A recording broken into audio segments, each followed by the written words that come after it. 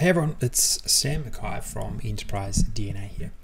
I'm going to go over something quite interesting today around how DAX formulas work, and specifically, we're going to dive into how to calculate totals of averages. Now, this isn't as easy as it may sound. There is just a little bit of work you've got to do in combining some DAX formulas to get this right. But it's actually a really good thing to go over because it teaches you a lot about context, which is a very key concept inside of Power BI. Now, let's have a look at this table. I've set up this table so that we can evaluate. I'll just remove one uh, formula from it actually. I've set up this table so that we can evaluate what is actually occurring in these in these formulas that we are putting inside this table. So under the context they they are calculating in. Now, first of all, we'll have a look at total sales here, right? Now, total sales, just think about that as just a sum. It's going to be a simple um, sum formula or or SumX formula, which is an iterating function. That's what it actually is in this case. It's a SumX. But basically, just think about it uh, think about that it's just doing a, a, sum, but we're evaluating some logic at every single row because that's what iterating functions do, and that's what SumX does specifically. But now if we jump to AverageX, but you, and you'll see here that when it actually, the, the key point here is when it gets to the total, so what I'm um, on right now, the total of 35 million, what it is doing is because there is no context on that result, it's actually iterating through every single row in the table every single row in the underlying sales table in this case and completing this logic. And that's how we get the 35 million.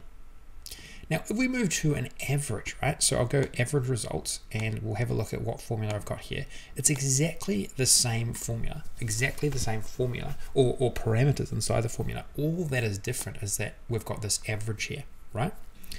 Now, let's have a look at the total. Now, the total here is going to be what is calculated at every single row of the table, just like it is in SumX. But instead of doing a sum, it's actually going to do an average, right? And that's why we have such a low number here. We have 2,356 because that's the average of every single sale that has ever happened in, in the sales table because every single at every single row this evaluation is happening. It's saving that into memory then going to the next row then the next row and then right at the end it's going to average up every single sale transaction that has occurred. And that's why we get the average there. But this is the this is the key because this is the key part of this tutorial is how do we actually get this total here? Because what we want to do is we want to work out a total we want to work out a total of all of our averages. Okay and I'll show you in a second where this could be um, where this could be useful. But to actually get this, we need to create some different behavior in the total area. Okay. Now, how do we do it? Let's let's review the formula that I created here. Now, if we check out this variable, you'll recognize that this is exactly the same. This is exactly the same as what is occurring at uh, in, in this particular. It's exactly the same formula which is occurring in this part of the table. So I'll just drag this down a little bit.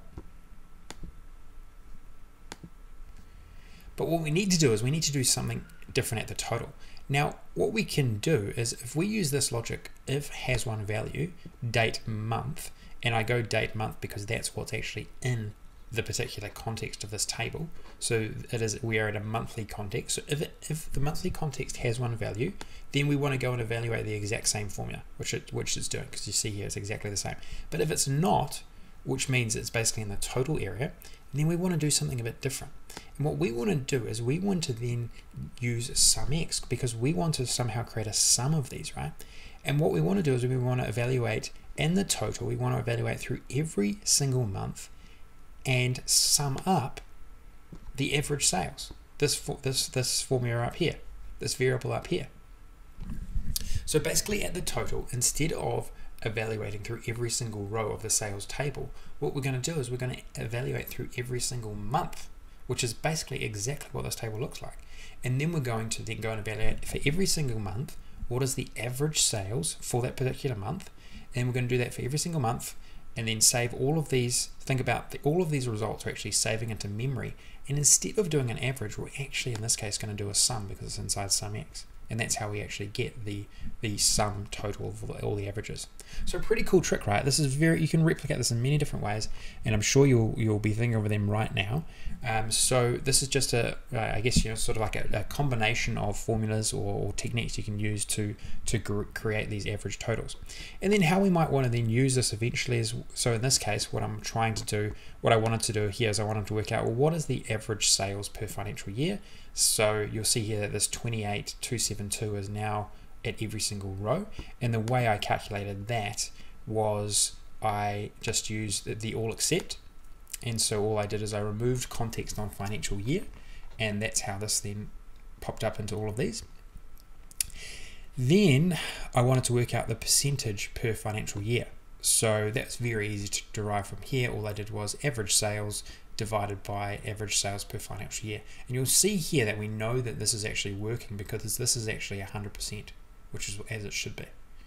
Um, so all in all, that's how you do it. That's how you do it. That's how you actually create these calculations and how you create average totals. Now, I know this will be useful to some because I have certainly seen a few questions like this on the Enterprise DNA support forum.